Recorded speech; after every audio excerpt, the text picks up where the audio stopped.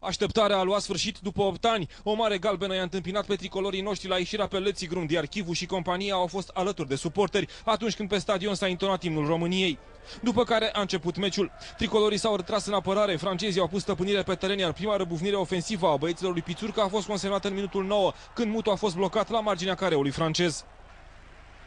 Același mutu întoarce pentru Daniel Niculae, iar acesta șutează din prima pe lângă poartă, dar trecem prin mare emoții în minutul 17, când apărarea noastră gafează. Lobonț rămâne singur cu Maluda, dar faza se consumă fără urmări pe tabela de marcaj.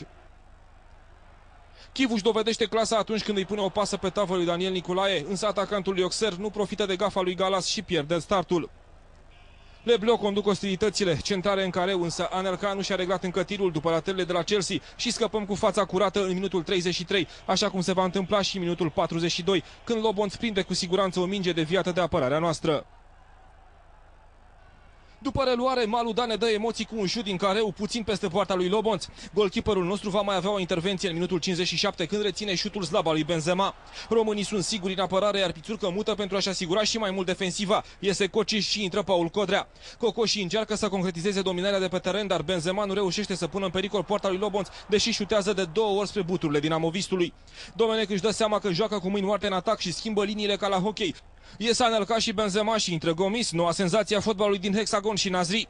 Pițurcă mută și el, îl scoate pe Mutu fără nerv și l aruncă în luptă pe Marius Niculae. Timpul trece în favoarea României, francezii nu reușesc să-și impună jocul, ba mai mult, tricolorii încheie meciul în atac, iar scorul final este Franța-România 0 la 0, un rezultat care ne dă speranțe pentru mai departe.